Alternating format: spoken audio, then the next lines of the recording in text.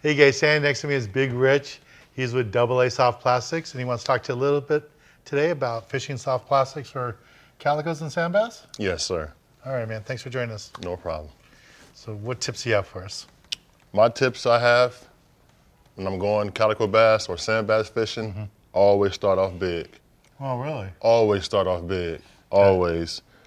Uh, from, from my knowledge, I go after the most aggressive fish out there 1st And then once it gets a little slower, they stop biting as much, I'll downsize to a four or a five inch swim bait. That seems to get them back going again.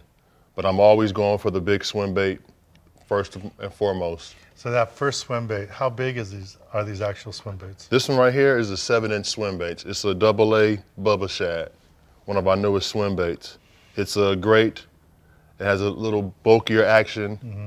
Compared to our old, our old style double A, which is a lot smaller and a lot thinner. Mm-hmm. Both great baits. But really, you start off seven inch first thing. Oh, I start off with a nine inch really. Nine inch? Yes. Start off with a nine inch really. Starting off. I'm I'm after the old grumpy fish. Okay. I'm not after the school fish.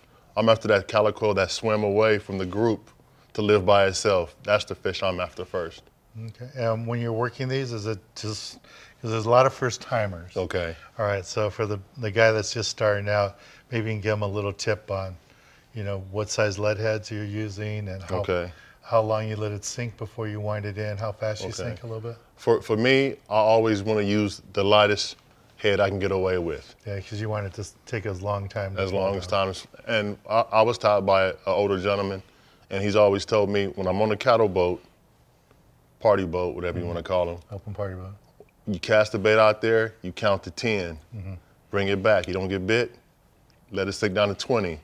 Try to find the fish. A lot of times the captain will tell you where the fish are. Right. So I start off with 10, 20, 30, 40, and hopefully by then I can find out where they are at in the, uh, in the schooling range.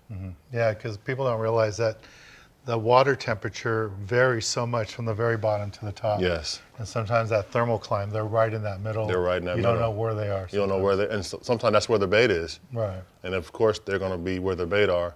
So you try to count it down. Sometimes you get lucky in the first cast, you bit on a fall. So then you know they're on top. But that doesn't happen every No, no, no way. I wish. Yeah. All right, so you start off with nine inch or seven inch. Uh-huh. And then from there, if after you've caught a couple and you're having trouble getting bit again, then you, you fish the same area but with a smaller size bait? The same area with the smaller size bait to see if that gets them going. Um, I've been on fishing trips where I've, I've downsized and couldn't get bit, hmm. but I would go back to the nine inch and I would start getting bit again. Hmm. Even when it got slow, for some reason, that the bass doesn't want to chase a bunch of small fish. Mm-hmm. He'd rather get one meal out the way, and he's after that big meal. So I'd rather catch that big that big fish. big fish. Yeah, and those bigger fish, you get that fish that's eight or 10 pounds, please release it. Please, Please release please it. release it. Yeah, but those little ones, if you get one that's legal and you want to keep one or two to eat, that's fine. Yeah. But you know, those really big spawners, we really like to see you release them. Now, does it matter much if you're fishing a spot like the Horseshoe Kelp, like 70, 90 feet, or if you're fishing over at the island next to the kelp beds? Do you fish any differently? Well, for me, uh, as far as kelp bed fishing, a lot of guys think that there's a lot of sardines and chovies running around the kelp. It's not. There's more rockfish like type kelp fish that are running around. So when I'm around the kelp, I prefer to use browns or reds around the kelp. Open water, I prefer to use greens and blues and whites, stuff like that. That's helped me out a lot. And in the kelp, do you like to cast deep in the kelp, or do you like to fish parallel to the kelp and, and cast it along the side of the kelp? Well, I try to find lanes in the kelp. Okay. when you're when you're fishing from a private boat, it's easy to find lanes. Right. But when you're on a party boat, boat. when you're on a sport boat, it's kind of harder. But even when the boat goes back and forth, Mm-hmm. I mean, there's been times where I've waited like maybe 10 seconds to the boat swing perfectly, where I can throw back as far as in the kelp as I can. Okay. Now, when you're fishing a bait like this, I know you're fishing like a bait caster type reel. Yes. Spectra, I would Definitely, think. def- definitely Spectra, especially if you're fishing the kelp. Are you fishing 50 or 65? I'm fishing 65 on the bigger swim baits and 50 on the smaller swim baits. Because you're fishing a 300 or 500, 300 or 400 size reel, probably. I'm fishing everything 300. 300. Everything is 300. For me, the, the 400 is a little bigger, but I can still cast as far with the 300. Okay. I mean, Spectra is, you know, the So diameter, thin. yeah, it's so thin. Yeah. All right, cool. And any other tips for this? When guys are going spotted bay bass fishing, Mm-hmm. I like throwing like three and a half, four inch swim baits. That's still big for a spot bay bass. They love them. Really? I'm not after the little ones. Oh, that's true. I'm That's for me. I'm not after the little ones. That's why they call you big. That's why they call me big. Yes, I, I want to catch the biggest, meanest spotty around. So, and you'd be surprised.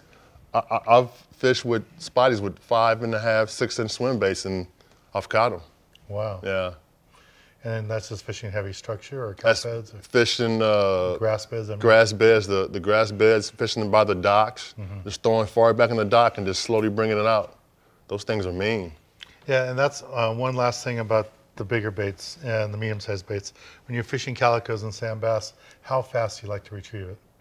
I always go medium retrieve. I have a 6'4", 6'1", 6'2", whatever retrieve mm-hmm. reel, and just a medium retrieve, just a medium retrieve. And when you get when you get bit, he might miss it, so you just keep winding slow mm-hmm. until you feel that rod load up. Then you just wind fast. I don't even set the hook on calicos. I just wind real fast, let the rod rod do its work. Yeah, let the rod set the hook and Yes. then let the Spectra pull it Yes, through. exactly. Right, cool. Great tips. Anything else we should know? Double A worms. Yeah. Go to Double A website for more information, and we'll put a link to their website right underneath it. Is it Double AA.com or AA? Double A.com. AA.com. Yes. All right, man. Thanks a lot. Thanks a lot. All right, that's been really good informational. We'll have a lot more of these video blogs for you for more information, getting ready for the season. If you're unfamiliar for a certain type of species, just do a search in my YouTube channel, and we have over a thousand videos there, so we probably have a video there for you already. All right, leave your comments down below, and thanks again for watching. Talk to y'all soon.